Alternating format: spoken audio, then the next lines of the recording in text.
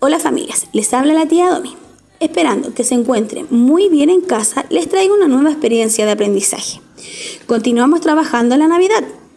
Para esto realizaremos viejitos pascueros de frutas, con diferentes alternativas, utilizando plátanos, frutillas, cremas, mostacillas para decorarlos, entre otros materiales.